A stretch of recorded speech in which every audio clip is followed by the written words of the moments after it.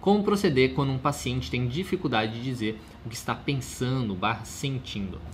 Bom, quando ele tem dificuldade de dizer o que ele está pensando e sentindo, você tem que ir guiando, né? Como eu já falei algumas vezes, uma coisa que você pode fazer, se for baseado numa situação, por exemplo, aconteceu uma situação e ele não lembra o que passou na cabeça dele naquela situação, você pode tentar voltar naquela situação. Então, fazer, fazer ele, por exemplo, fechar os olhos, lembrar a emoção que ele teve naquela situação, trazer ele de volta para aquela emoção, ah, como se está sentindo no corpo e tal, é para ele descrever aquilo como se ele estivesse no, pres no presente, sentindo aquele naquele momento.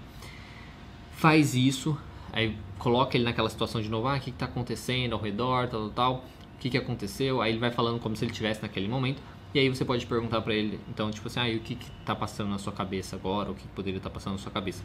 Isso às vezes ajuda bem. Muitas vezes, outras coisas, às vezes se ele tiver com dificuldade de, de, de falar e, e você meio que tiver uma suspeita, né? Por exemplo, ele foi é, mal numa prova né? e você suspeita, baseado no que você já conhece ele e tal, suspeita que ele está pensando às vezes é, ah, eu sou burro, né? E ele, ah, não sei o que eu pensei, o que eu estava pensando e tal. Você pode sugerir pensamentos ao contrário disso, né? E isso é a mesma coisa para os sentimentos também, tá? Então, pensamento, ah, você estava pensando, sei lá, ah, eu sou muito inteligente, eu sou o cara mais fera né, da, da, escola e tal.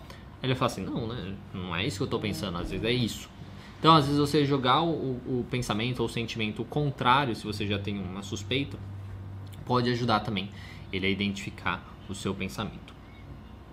É, isso é, é uma das maneiras que a gente pode fazer. Se você pode tentar de tudo e não deu certo, respira fundo, segue em frente e com o tempo, em outras situações, você vai ter outra oportunidade para descobrir ali o que, que ele estava pensando ou sentindo.